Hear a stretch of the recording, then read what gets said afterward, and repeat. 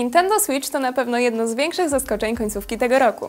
Konsola będzie miała swój debiut w marcu, ale już teraz na podstawie trailera i zapowiedzi możemy spiskować, jakich gier na tę właśnie konsolę możemy się spodziewać.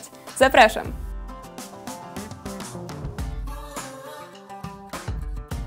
Numer 1. Miejsce pierwsze to długo wyczekiwany tytuł The Legend of Zelda Breath of the Wild.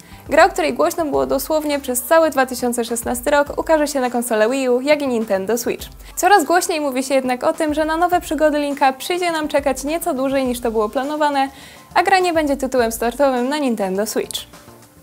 Numer 2. Tytułem, na który wszyscy maniacy Nintendo na pewno czekają jest nowy Mario. Choć wiadomo o nim niewiele, wiele wskazuje na to, że gra będzie oferować trójwymiarowy świat, mniej liniowe podejście do leveli, podobne do tego z Mario 64 i Mario Galaxy, a także kooperację. Numer 3.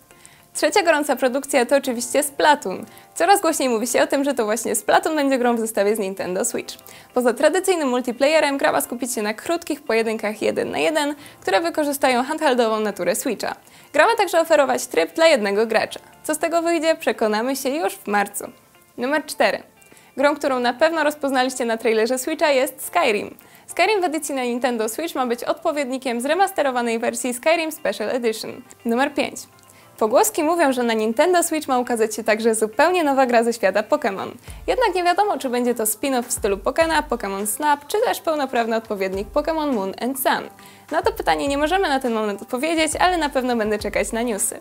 Nintendo ujawniło także listę deweloperów, którzy współpracują z nimi przy tworzeniu gier na nową konsolę. Znalazły się tam firmy takie jak Ubisoft, From Software, Atlas czy Capcom, co może zwiastować co najmniej kilka potencjalnych hitów, które zagramy na Nintendo Switch ale na to będziemy musieli jeszcze trochę poczekać.